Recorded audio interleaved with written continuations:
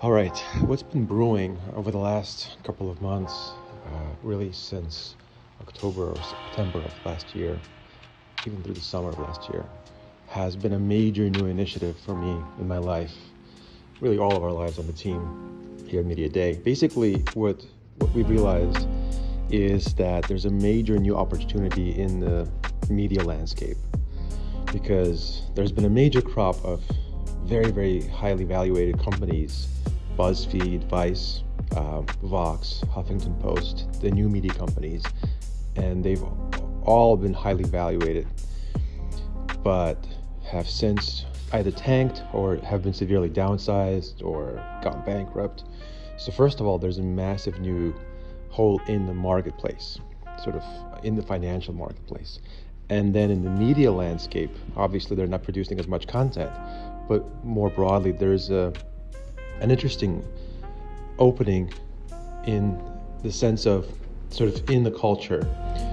No one is producing content that everybody can enjoy.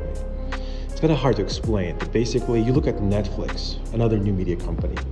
They're very interested in pushing out very edgy content.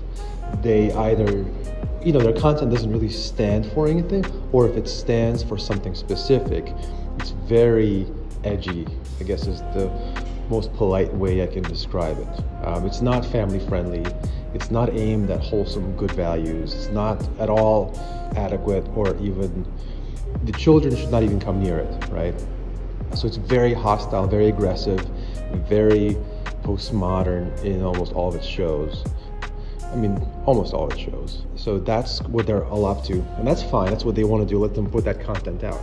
But the question that I've had to myself is who's putting out content that most of the people in the world, at least in this country, etc., would be interested in.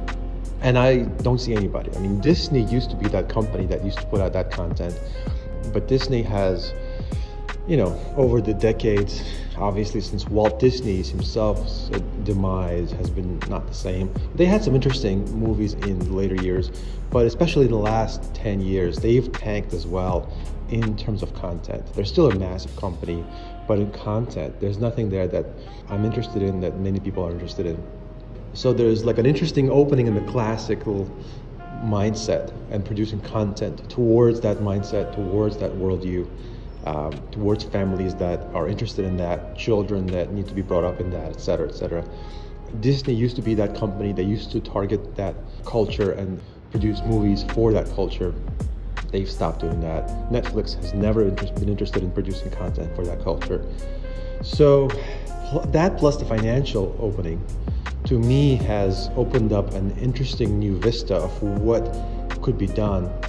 And we've been ideating like mad, creating concepts, thoughts, what this could look like, what does this company do? Like, and having a new company that, that's in, in that landscape, playing in that world, I think is an enormous opportunity. If for no other reason than that I don't think anybody else will enter that space. Because all the new media companies are, are into the edgy stuff. People that are creative and highly motivated, highly driven, highly ambitious come from the, the, the edgy culture themselves. They're, they don't have any, any, any interest in the classical, wholesome stuff. They just don't like it. And people from the wholesome culture don't generally go into the creative world. So they don't, they want to see that stuff and they want to show it to their kids, they want to watch it themselves, but they don't know how to produce it, they don't know what it takes to make it, and they can't make it themselves.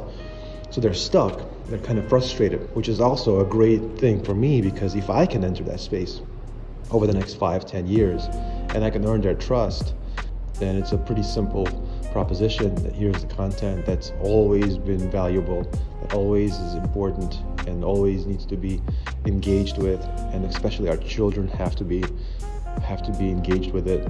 And here's us believing in it, like Disney used to believe in it. Here's us providing content around that. And it's a huge question because this is not a, a simple undertaking because you know, we're not right now I'm not a millionaire or even close to one. So how do you just go and start a media company from scratch?